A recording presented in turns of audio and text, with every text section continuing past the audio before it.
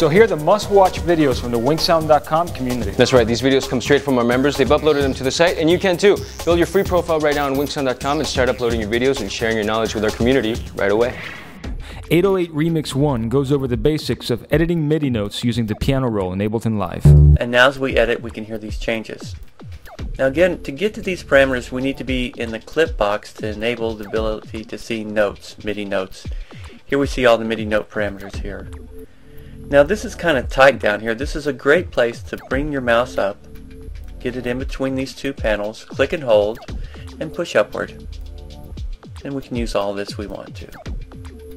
Now it's more easy to tell this is a piano keyboard down the side, C, D, E, F, G, A, B, C.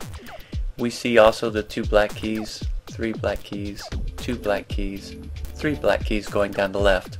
Now notice as I move my mouse around on the grid over to the gray area in the left here, next to the piano, it's telling me exactly what note that might be. Let's listen to this clip now by clicking on its launch button here.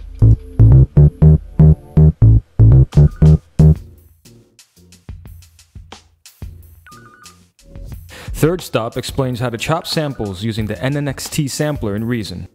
Go to load sample. I'm just going to load a random sample. You can either take this line here and move it around till you get what you want.